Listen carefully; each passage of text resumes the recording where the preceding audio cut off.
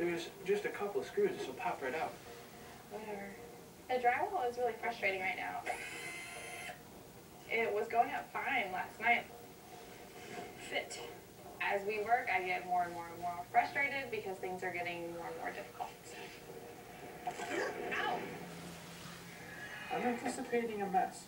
We're trying to turn off the water and it just isn't working. I think that definitely got worse. There's no way that there's this much water. DIY Network's Blog Cabin is back, and voting has begun for television's only interactive home building experience. Go to DIYNetwork.com and vote on your favorite for this year's Beach Retreat Master Suite. You designed it, and we're building it. DIY Network. You didn't finish, kid.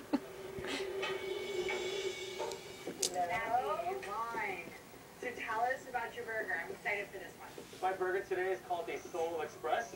This is a recipe handed down to me from my mother. I was born in Seoul, Korea. This is kind of a homage to her. Toasted sesame seed bun, a little Asian Napa cabbage Asian slaw as a topping, and then beer battered, tempura fried, avocado fried. I think the tempura batter was delicious.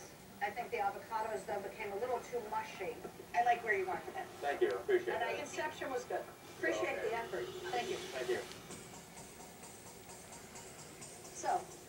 I call this burger the Barcelona burger, and it is a ground Wagyu chuck roll, flavored it in the flavors of chorizo. I topped it with a Spanish manchego and sweet potato. I wanted to top it with a fried egg. They're sitting right behind you, but they did not make it on. it's a little on the dry side.